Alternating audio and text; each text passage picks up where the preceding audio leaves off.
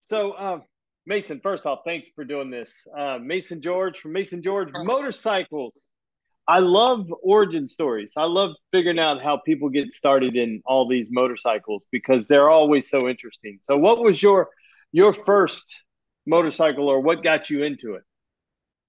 You know, I was um, I was obsessed with motorcycles like ever since I can remember. And my first motorcycle I got when I was a little kid, but I didn't really ride it because I think I was maybe five years old, six years old, was a RM50. And I'm from the Midwest, and it was one of those things like it was out in someone's front yard for cheap. Um, but it was a full on like kids motocross bike, and I had never ridden before. So my first bike that I actually rode a lot was a Manco mini bike with a three and a half horsepower motor in it. Um, and I moved up from there, but I, my parents weren't super into motorcycles. My mom actually right. was more into bikes than my dad. She grew up riding. My grandpa bought her and my aunts and uncle uh, mini bikes from like the Sears catalog back in the mm-hmm. day. And she rides now. My mom rides now. She has a Harley. Super cool. But wow. um, you know, I grew up on a farm without a lot of money, so I yeah. kind of got into three wheelers because in the '90s, three wheelers were practically worthless. So it was what I could afford because they were basically free. Um, in fact, yeah. a friend of mine and I did get one for free. It was like so in someone's yard, and they're like, "Just take it," you know.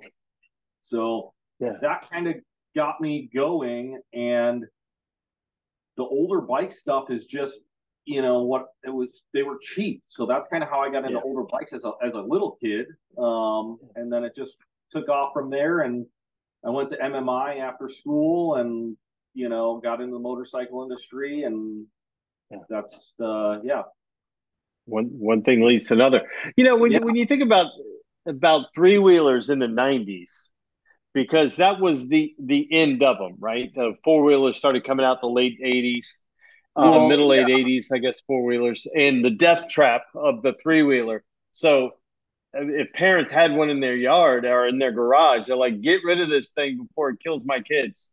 Totally. Yeah. The, the last year that they were sold in the United States was 1986. There's a few yeah. very extremely rare models, 1987 models, but 86 was kind of the last year. And if you look at the production numbers, like 86 was a lot less. And yeah, the four wheeler thing took off. Um, Honda only made the 250R four wheeler for four years.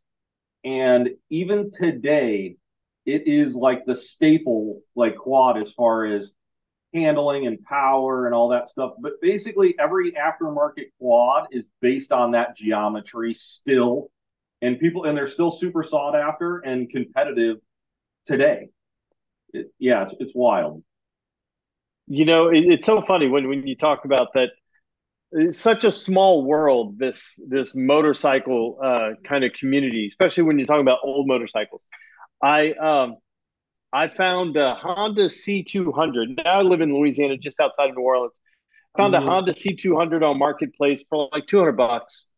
And i go to the place to pick it up and it's in a place it's in a town called Cut Off louisiana so Louisiana looks like a boot, and it's got this little little tendrils that kind of skirt off into the Gulf of Mexico, and that's kind of where Cut Off is. It's out in the middle of nowhere, out towards the the end of the river, kind of the, the swamp and the Gulf of Mexico meet. And I pull up at this place, and it looks like a motorcycle shop. And it ends up being the name of the place is DNA Restorations, and they restore three wheelers and send them all over the world. So is that Travis then? Travis. Yeah, yeah, yeah. He's yeah. he's the man. That's why I knew Cut Off because I was like, I know right. that name for some reason. Yeah. But yeah, Travis is uh, you know, his stuff is world class. Um yeah. I'm sure you've seen that the guy uh Binky's ATV World. Uh, yeah. Uh, I think he's done a lot of bikes for him and you know, yeah, that whole that whole scene is taking off now and I love it. I'm I'm super excited about it, and it's it's great. You know, a lot of the the older guys that were into it in the '90s are a little bit butthurt about the prices, um, Right. especially during COVID, which that has drastically changed in the last year and a half. Prices are have super corrected. Right. Um, but you know, I get it. Like, but you know, it is what it is. It's like the more people that are into it, the better in my eyes. Um, it's better for the sport overall. And then, you know, aftermarket companies have popped up in the last handful of years that are Yeah. starting to make parts for these machines. Yep. And you know, there was such a void for such a long time and no interest. Um, for something that I I'm super into, I love it. I'm like, I'm Yeah. stoked. Yeah, you know, talking about Travis, and it's such a small world because I never would have expected this, right? And you wouldn't expect it to be in the middle of nowhere and cut off, and then uh, pull up. They manufacture their their own tires. They have their Yes. own tires manufactured. They make tanks. They make all kinds of stuff, and and it's it's insane, but it's a great space. And to be able to have that, we happen to own uh, one of the few non Honda three wheelers. Oh, like a Yamaha, a tri. We have a we no, we have a, a Kawasaki KLT 250. Oh yeah, the KLT. Yeah, those are Yeah. super cool. Um, a lot of people don't know this, and I didn't know it probably for a long time. But Polaris actually made a three wheeler, and Oh, wow. I'd like I'd like to get my hands on one someday, just because they're so oddball. Um, like I don't think you know performance wise and all that they weren't great. Polaris didn't start making good ATV stuff for a long time, so Yeah.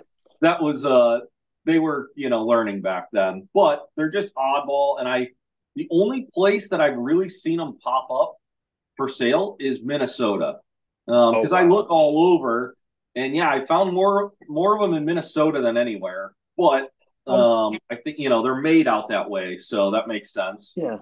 and yeah, and I wonder if it if it was the three the the snowmobiles because they made they probably made snowmobiles first, right? oh yeah oh yeah And, and then so they had a market, and in the Midwest they had dealers for snowmobiles, so that may have been the, the easy transition. Yeah, and then that you know their customer base because if Yeah. you own a Polaris snowmobile, you're more way more likely to buy it their Yeah. three wheeler than if you were a Honda guy and you went and looked at it and be like, yeah, So, well, let's talk about that little hidden gem you got uh, back behind you. yeah, Top Gun. Yep, that's the uh, 1985 Ninja 900 GPZ 900. I guess it's it's called both that year. Mm-hmm. and uh, I got that bike in a package deal. It's a super neat motorcycle. It's one owner bike, and the guy had he spent probably just as much money popping it up as the bike cost when it was new. Wow. Um, it's got PM wheels on it, which I didn't even know PM made a lot of Japanese stuff back then. Because, Wow. excuse me, um, nowadays, you know, it's all Harley stuff. So yeah, it's got PM wheels. It's got a Wiseco 973 big bore kit with stage Wow. three mega cams and uh, CR carburetors. Um, and then a bunch of little stuff, steering stabilizer. I don't know, I can't remember if the rear shocks aftermarket or not. Stainless lines, like it's you know all the all the doodads of the time. And um, it only has fourteen thousand miles, I'm pretty sure. Wow. So yeah, it um like I said, a one owner machine. I got it from the original owner, and he um he ran into some health issues a while back, and he had to stop riding. So it was garage kept and all that, but it has been sitting, and it I did get it running. It does run, but it's gonna need some fine tuning and that kind of deal. And I think my plan with that one is I'm actually going to be listing that one uh, next week. Um, oh, as, wow. basic, as basically it's a running project for somebody. Mm-hmm. Um, there's a ton of potential for the bike, and it's clean title, all that good stuff. So it's it's Yeah. a really great bike, but I have a couple big things that I'm working on, and I need the space, and I just don't have the Mhm. time um, to to go through it the way you know. Because for me, it would be vapor blasting all the aluminum, Yeah. polishing everything out, Yeah. like you know, new tires, that kind of thing. Um, and and that that'll be great. I'd rather sell it to somebody for less money, know it's going to go to a Yeah. good home, and then let let that. It's I got it to a good point where at least we know the motor's solid and all that. Yeah. So yeah, that yeah. that's a real really neat motorcycle. The my next chapter in my motorcycle career here is uh, with a company called MotoNexus, and oh wow, yeah. So that's kind of what uh, one of the things I've transitioned into here. Uh, MotoNexus was started by my good friend Clay Baker and it's it, this has been a couple years in the making. And basically, mm-hmm. uh, we are a motorcycle auction website for people to sell their motorcycles on, oh, similar perfect. to some other websites that are out there that like there's like Bring a Trailer. They're right. very much car focused, and we are going to list certain maybe hot rods or specialty cars, but not a lot. We're we're mainly focused on motorcycles and power sports. Yeah. Um, but we actually have software that we've developed for evaluating motorcycle values. Oh. So like vintage, especially vintage motorcycles. So we can we can pull a lot of data from the internet and and completed auctions and whatnot and get a really good idea of what these bikes are worth. Yeah. Um, and our, our platform is really cool. I'm I'm excited to share it with you. It's like yeah, like I said, this is a long time in the making, and Clay has put a ton of work and time into this. And there's you know engineers overseas making the site and all this. And yeah. we worked out all the bugs and all that good stuff, and we're ready to. We're actually launching um, this week. And awesome.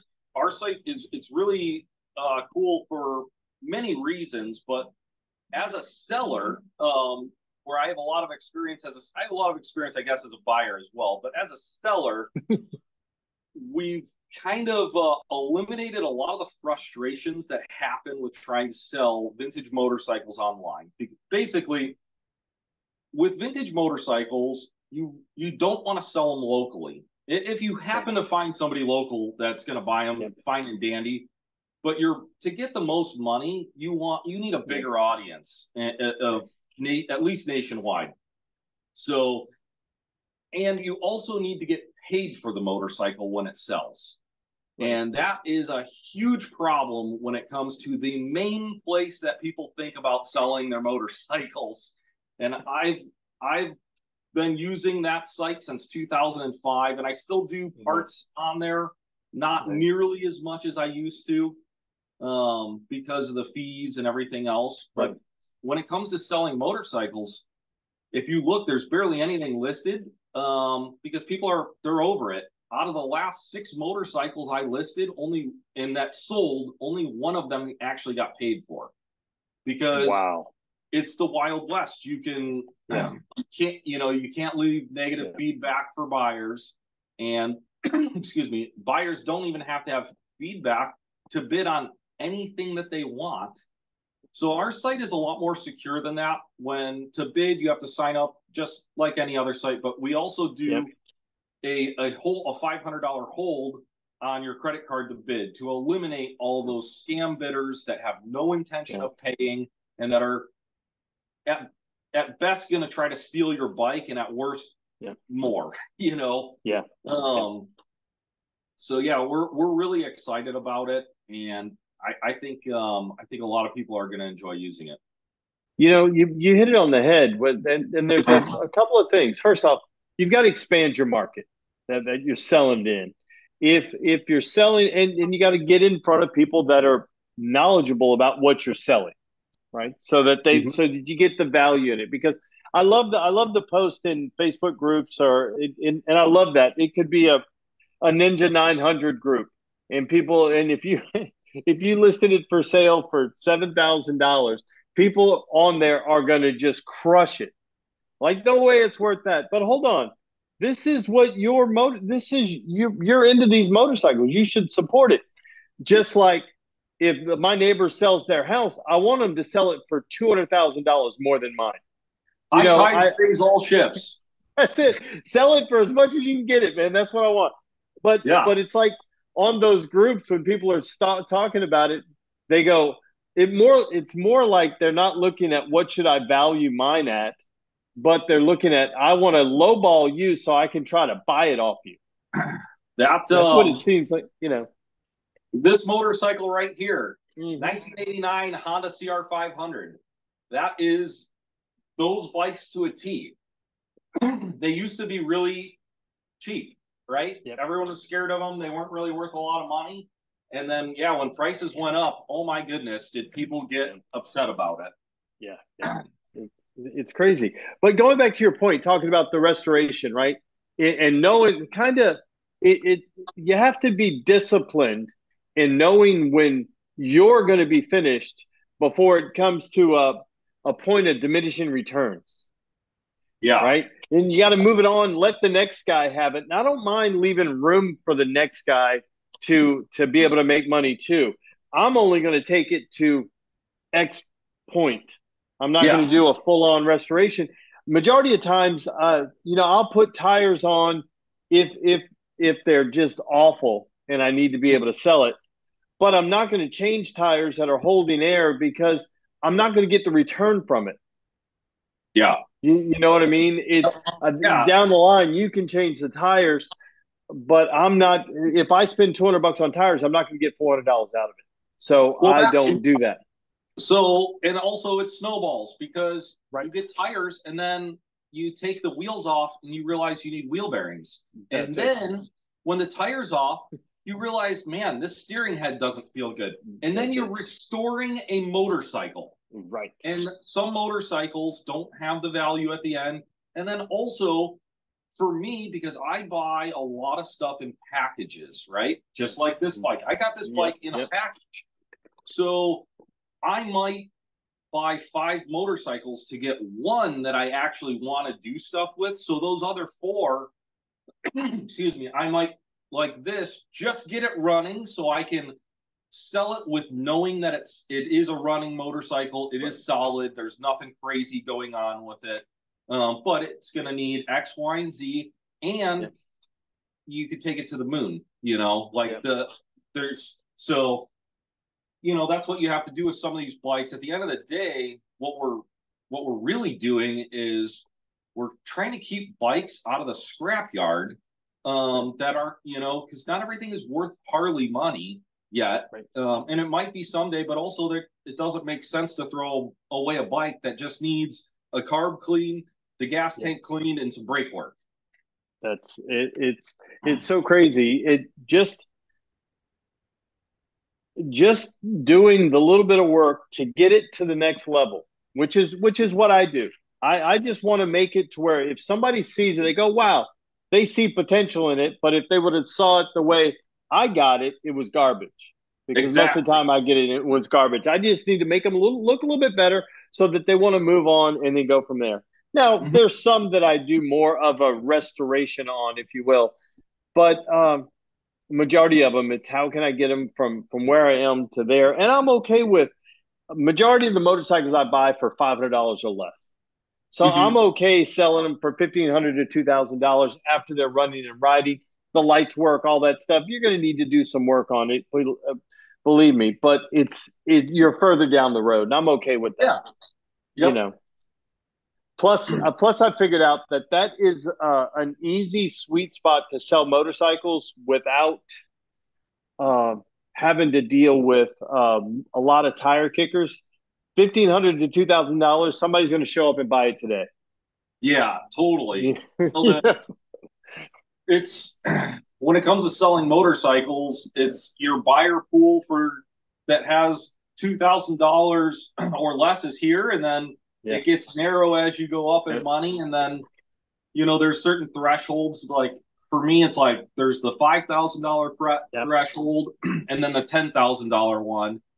That ten to forty thousand yeah. is tough because yeah. for cash buyers. Um, above that, there's a whole different category of collectors and people. Yeah. And then the money it's doesn't so much matter. Yeah. You know, the only reason that BMW sells thirty thousand dollar motorcycles and Harley Davidson sells fifty thousand dollar CVOs is a little thing called financing. That's you right. know, um, but as far as people pay, you know, writing checks for stuff, yeah. it's it's a whole different game. It's selling motorcycles, and I'm not knocking the finance thing. I am super thankful for that. I was a finance manager for a few years, and uh, I enjoy living in a house. So that's right. you know, and also people need motorcycles, and you know, it, it makes sense. So, yeah. not knocking it, just saying that's how it happens.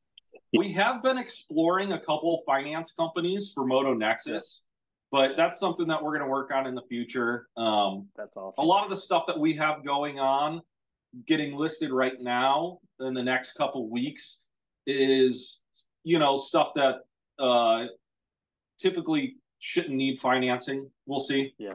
Um, I don't know. Awesome. We, we we do have a couple wild cards that we're hoping to list, so we'll see. There's a few high dollar ones in the works, but we're we're talking with a couple collectors as well as far as doing a full collections. But that's oh, that's, uh, awesome. that's coming soon. Oh, that'd be awesome. That'd be great. Yeah, I look forward to it. And we're going to list all the uh, another cool thing that we're doing that everyone's going to be really excited about is we're going to do a couple vintage bike giveaways. What you talking about? So I'm I'm working with I'm working on a deal right now for the first one, and hopefully I'll have that bike in the next week or two, and we're gonna do a full on giveaway with it, and I'll I'll post like how to sign up for it. It's gonna be yeah. free, but yeah, wow. somebody's gonna somebody's gonna win a free motorcycle, and it's gonna be awesome. I love it. I love free motorcycles. Those are yeah. those may be my favorite. You know, I love I love just discovering more about people. And thanks for sharing this MotoNexus. And I look forward to seeing it grow. The uh, the one motorcycle you had and you sold, the one that got away, the one that you moved on, the one you wish you had back. Is there one or a handful of them? Well, yeah. Here's the thing: I fall in love with all these bikes, right? and even stuff that I didn't even know that I wanted, I right. kind of sometimes will end up falling in love with, and it just happens yeah. that way. Um, one of the bikes that, and I'm going to buy another one at some point. and it's not that it's a, a, super special bike, but it was my first street bike I got when I was like 12 years old. Was a 1975 Yamaha RD350. Oh, yeah. um, basically an air cooled Banshee motor. Yeah. And now, mind you, this is in like the mid 2000s or early 2000s or something. So back then, those bikes were not worth very much money at all. And I fixed it up and I, I got I sold it because I wanted a crotch rocket. So hmm. I sold that and I had a 400EX quad that I had since I was like 14 or something like I bought with like 4-H money type of deal.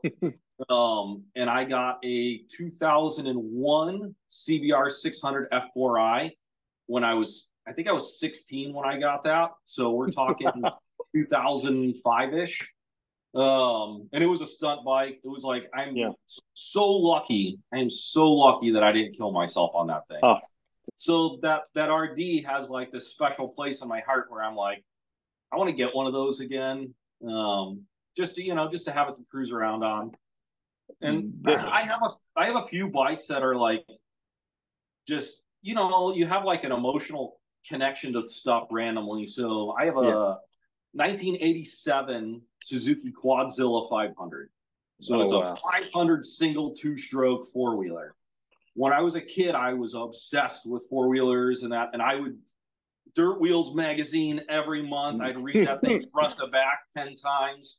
Um, and the Quadzilla was so such a beast. And we were driving one time and we saw one in a front yard, and I made my mom stop, but of course you can get it, whatever. So mm-hmm. Yeah, it's like once I started making money and I found one, um, I bought it and I just I just love that thing. And it's not like it's worth 30 grand or whatever, but to me, um, it's special. So yeah, those those RD two three fifties are awesome. Yeah, they're oh, they're, yeah. they're they're so quick. They're they're shockingly quick, and I've always equated them to uh, dating a really hot chick that was batshit crazy. Right? you never know when they're going to lose their mind because the power band comes on late. Well, yeah, isn't that the beauty of two strokes? Like, well, you at know, least, at least two stroke dirt bikes, the power band is lower. Yeah, especially the big bore bikes, like the right. 500. Yeah, you know, everyone's like scared of these things, but they only go as fast as you tell them to, and they yeah. do have so much torque that if you don't try to ride it like a 125, it's not yeah. as crazy. The thing is, it can get away from you. That's where it gets right. scary is when you unintentionally give it a little bit more. Yeah, yeah. So, so I rebuilt uh, uh, an RD2. Well, it was a R5 250 yeah. Yamaha during COVID. Ended up getting it from a guy. He said the engine needed to be rebuilt, and it had the shifter had been flipped around. And sure enough, you'd put it in first, it would idle like a champ, and it'd rev really good. You put it in first, it'd fall on its face. Well, come to find out, once COVID hit, I said, let me go ahead and see see if I can build this thing with only stuff we have here. So it was my my quarantine project, and I brought it outside to pressure washing because it had been sitting in the corner of the shop the shifter was backwards. So when you'd put it in the first, you were putting it in the sixth. Ah, that's hilarious. So I, I, I got this motorcycle for dirt because the guy thought it had to be rebuilt. Didn't have to be rebuilt. You just need to know the shift pattern. Yeah. And and this thing, and this was just a 250, but at about 4,500 RPMs, it would lose its mind the power yeah. band would kick in and you're like holy crap front wheels off the ground. You're like i didn't know that was going to happen.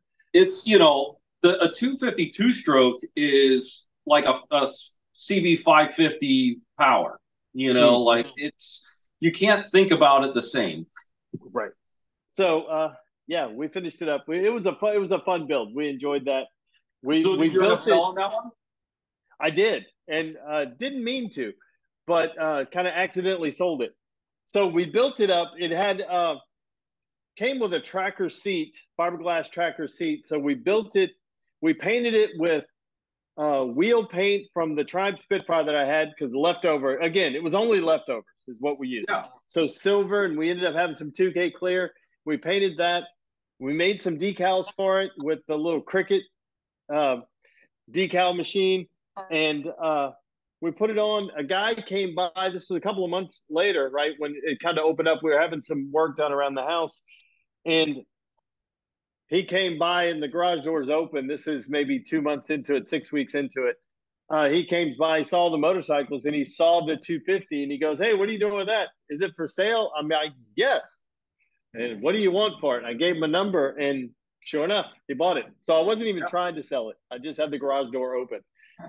I have a TTR 90 electric yep. start, and I sold it to. I bought it in a package, and I, you know, carb mini bike stuff, carb clean, yep. battery, yep. air in the tires. Sold it to this to this dude that lives down by the beach. Doesn't have a yard, I guess, so mm-hmm. they would go down to Hollister and ride and all that. Um, and I ran into him at Cars and Coffee like four or five years later because he has yeah. a couple of Beamers, and um, we, you know, got to talking. Oh man, do you still have that that 90 that I sold you for your kid? And he's like, Yeah. He goes, Do you want to buy it back? And I was like, Yeah, well, like, what do you mean? And he goes, Well, he goes, We put probably two tanks of gas through it, but it's such a production to load up and go to Hollister yeah. to just a ride that we're not really into it. He goes, I'll sell it to you for what you sold it to me for. I was like, you know what, fair enough. Like, yeah, totally. Yeah. And now I now I kept it because you know you know how it goes. Yeah, yeah. You know, you mentioned falling in love with these damn. I. It's the reason why I can't go to the pound, right? Because right? I'll end up with ten dogs. It's, it's well, same thing with these motorcycles, you know. And and the weirdest ones, you know, like I I never expected that because my my lane is very very defined, uh, 60s to middle 70s is kind of my my favorite, my sweet spot. Mm-hmm. Easy, nice, easy lane to live in. And then that damn 83 GPZ 1100 came my way as a uh, and and I've fallen in love with this motorcycle based on what it what uh, not just that motorcycle but all the motorcycles in that era that those muscle bikes when they were coming yeah. into how fast can we get these things to go how much horsepower everything was was a challenge to uh, just throwing down the gauntlet. That mine yeah. has more horsepower, my quarter mile times faster. All of this is what they were. Those Japanese motorcycles were racing for, and I love that that what what they were doing. Mm-hmm. I'm not the guy that wants to ride fast. That's not what I want to do. You know, uh, I, I guess if I was started like you did at 16 years old, going, you know, 100 yeah. miles an hour with your hair on fire, that'd be different. You know, I'm 56 years old. I don't want to go faster than that. Uh, know, 56 I'm, miles an hour is good. Yeah. And, you know, things change when you got a family. Like I'm 36, I got two kids. Uh-huh. Like, you know, that's why, that's why I'm a huge fan of little bikes. So one of the, the, one of the favorite bikes that I own is a Honda Grom. Um, and I love it because I can ride it wide open all the time and you can you can't break the law on the thing. It only goes like 50 miles an hour. Right. So you're not going to jail, right? Um, but man, it is a hoot to ride. You know, they're they're so much fun. I did a, a, an episode with a guy just talking about this that you mentioned it. it it's small displacement motorcycles. I think there's something about riding slow bikes fast. Yeah, right. totally. That, that, that, you feel that that's a whole different deal. I did a talking motorcycles episode with a guy Nigel Cox from the UK, and him and his friends yeah. rode the the monkey bikes from the top of the, as far north on in, on the island of UK, Scotland, all the way down to as far south as you can go in Wales, on these monkey bikes, which is insane. You know, I, I saw that and I was like, that is the coolest thing. Like, I love that. Yeah, 1,200 miles on this little bike that's going to do 50 miles an hour. And, but, but there's something about, there's something about just getting out and going. You don't need an adventure bike. You don't need a big Harley bagger to go do this stuff. You can just jump on what you have and just go find out where the day takes you. I, yeah. I rode my 2006 ZX6 636 coast to coast because wow. that's the only motorcycle that I had. And it totally did it just fine. It's yeah. you that's the the limiting factor, but I was like 21 years old. So yeah. I actually moved out west on that bike with a backpack. I got rid wow. of all my stuff. What I, I put what I could fit in the backpack and I jumped on the bike and headed out. Like when when I did the the the one with Pete from Pete's Classic Cycle, and he told the story about his dad's journey riding a a Z1 from um, Canada down to they went to California. I guess they turned around somewhere, Los Angeles. But his buddy that went with him was on a Honda CB350.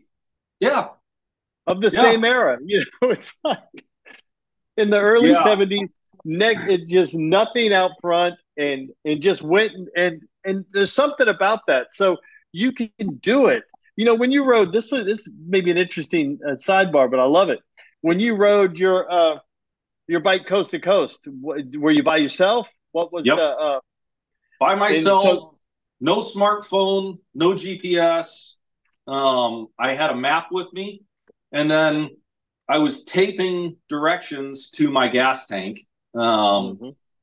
But I also didn't have like I had a stop lined up in South Carolina, so I went from yep. Ohio to South Carolina because I had a buddy down there. So I had that kind of plan, but heading west, I didn't have to be at this point to sleep. I just rode until yeah. I didn't want to ride anymore, and then that's where I stopped. The one day I was in um, Oklahoma, right? and I think I stayed in Oklahoma City. It was it was the longest leg I've ever done on a motorcycle, um, and I rode all the way to Phoenix, just Ooh. because I just didn't. I just didn't want to stop, man. I just yeah. I was on the forty and I was jamming. I was trying to do like around hundred the whole time. Yeah. Um, and yeah, I think I ended up getting almost a thousand miles, and I didn't do like an iron butt thing. I wish I yeah. would have like actually, but it wasn't planned. I was yeah. just there's nothing in that stretch of the country really. Yep. And I knew people in Phoenix and stuff, and that was where I was going. So. I just rode all day, like 15 hours. yeah, you know that that's the uh, you know what I learned. My my first uh, distance ride was when I rode the GPZ to Colorado, mm-hmm. and I I think if, if when I do the next one, it's the only stop I'm going to have planned is when I stop back at home. Yeah. And, but yep. not a day in mind. Uh, just let Carrie know that I'm going to be gone, you know, five, six, seven days. I don't know. We'll figure it out on the way. Yeah. And just wherever the, the day takes you, I think that's where the, I, I think that's where the, the magic in on a motorcycle is because it's not the most efficient means of transportation. Yeah. And also, it's like one of those things where once you get a, it takes a day or two to, of doing that to like get in a mode, but it's it's very freeing. Um, yeah, yeah. You know, even my wife and I did back in 2017 before before I opened the brick and mortar and before we started mm-hmm. did the kid thing, right? Uh, we jumped in my big diesel truck and I with a stack of cash and a ramp because I was looking for motorcycles to buy.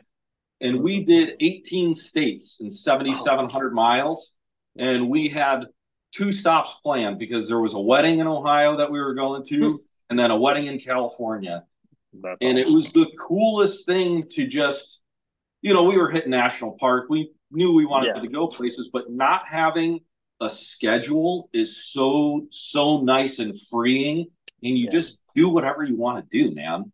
Yeah, yeah, you know, when when I the the first day of the first leg of the trip, the first day of the trip, I went from from where we are just outside of New Orleans to Memphis, right at about 400 miles, and it was it was perfect. If the rest of the trip would have ended up there, I got into Memphis early enough to where I could ride around Memphis. I rode up and down Beale Street. You know, I was able to kind of touristy around. Uh, went and had barbecue across from the Lorraine Hotel and uh, it was awesome. Everything was perfect. I wandered around till I found the hotel that I wanted to stay in, which ended up being a great spot, and everything was was perfect. I was like, "Wow, this is the way the trip is going to be. It's going to be amazing." You get to wander around, and then uh, you know, life hit me the next day when it broke down. But uh, yeah. but what do you expect? That was the first well, 400 miles on it. The, that's the difference between riding a three hundred dollar bike and a thirty thousand dollar bike. Yeah, you know. Right you know, so buy the ticket, take the ride, baby. I know you need to find a bike out here, fly out. I'll pick you up at the airport, and we'll tune it up in my garage here, and then you can ride it back. That'd be a good ride. I I, I do, and ideally, it's a uh, early, uh, middle, early '80s uh, Goldwing Aspencade, something like that, with all the bells and whistles. So, oh, man. Uh, you, you should you should have told, you should have told me that. Gold Wings are the number one motorcycle that I get offered for free. Oh get, my gosh. I get offered so many Gold Wings for free, and I tell everybody the same thing. Thank you, but no thank you. Um, yeah. just because they're huge and it, you know, if I was playing like if I had more time and I was playing around type of thing. Yeah. But at the end of the day, I I do have to make money. Um, yeah. So I have to be like selective, and then space is always an issue. I'm it. I'm trying to mitigate that, but like every time I add space, I fill it. So you know how that goes. Yeah, and but, so the know. Goldwing, the Goldwing is not the one I want to keep. I just want to road trip it. I just yeah. want to road trip it and be done. Only because, again, like I mentioned with the the GPZ and the muscle bikes, this bike was this the early Goldwings not not the real early gold wings when they were still naked right they were just building big bikes they yeah. just said they just put a different engine a bigger bike but the middle early 80s they really became purpose built for head out on the highway just hit yeah. the highway and just go and it was I, I appreciate that in what they were doing with that and I just want a road trip because I'm the same thing. There's no way I could keep one of those in my garage. It, might as well park our car in there. Totally. It's, so I yeah. need to buy it somewhere else, road trip at home, and then it's going to be gone when uh, a well, couple of weeks later. You should do that, and then we'll list it on MotoNexus, and we'll donate the money to charity. I like you it. Know? I yeah, love it. That, that, would be super cool. We'll do like a no reserve auction and yeah. just donate the money to charity, and and that'd be fun. And with yeah, like with us, we don't we don't charge any listing fees or anything, so it'd be yeah, it'd be super easy. And I'm gonna be uh I'm gonna be looking for a gold wing because I, I really think it'd be fun to have you come out and we'll tinker and and hang out a little bit and then you can hit the road and make some cool content and and yeah, we'll we'll sell it for charity or something. Yeah, yeah. Don't threaten me with a good time. yeah. Right on. This is awesome. This cool. is awesome, man. Thank, thank, thanks. This was perfect. Yeah, and um, you know, for everyone out there watching, if you could go to motonexus.com, sign up. Uh, we're going to be having some amazing bikes hit the market this upcoming week, and we have a lot of cool stuff in the works. We also have our own social media where we're starting to do. My partner is a very, very uh, detailed Honda collector and restorer. His CB750 has won the quail and all that. He's mm. super, very into it, and he is making some great how-to videos. So we're we're trying to spread some free information to sell on our website. We have no seller fees. We charge a five percent buyer's premium, so we're by far better than anyone out there, and we are true enthusiasts. So when you're working with us, we're gonna talk. You're gonna talk to a real person on the phone this isn't, you know, a company that they don't care about you. Like right. this is what we do. So yeah, hop on MotoNexus and uh, let's sell your bike. I love it. Cool. Thank you. All right, Eric. Good talking okay, man. You. you have a good one. We'll talk to you soon. Take it easy. Thank you. Bye bye.